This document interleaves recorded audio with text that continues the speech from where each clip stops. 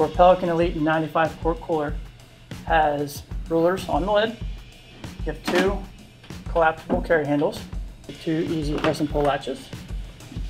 This cooler also has four molded in spots for tie down rubber feet on the bottom for non-skid. This cooler also has a drain plug on the side. This cooler has up to a 10 day ice retention, guaranteed for life. And you can find us on elitecooler.com.